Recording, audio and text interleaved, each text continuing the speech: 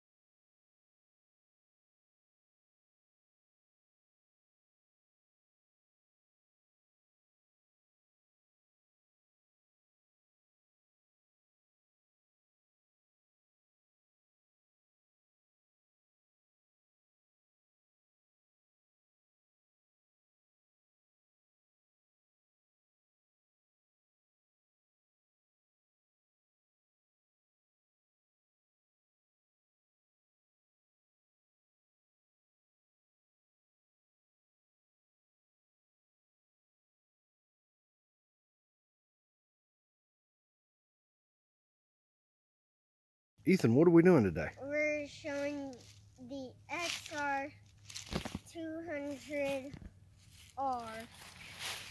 the newest bike that we have right here, What do we call it? the War Pig. Yeah? So when we got it, what all was wrong with it?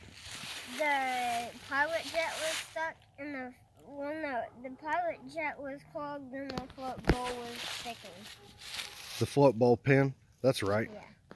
Well, what all did we do to it? We fixed that, and we put these little caps on it. The grenade caps. Yep. And we fixed the carburetor right here. That's where the pilot jet, I think, and the float bowl is. We made custom seat covers too. Yep. What was it made out of? That's a jacket, right? Yeah.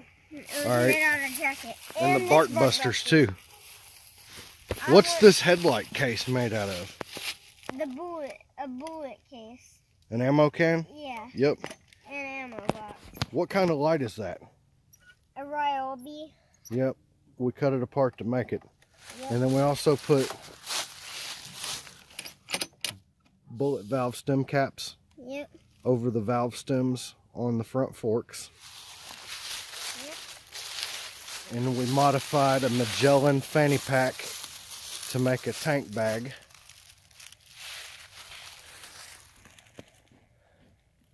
And then we added a tachometer and a bar pad with a custom uh, cover on the bar pad.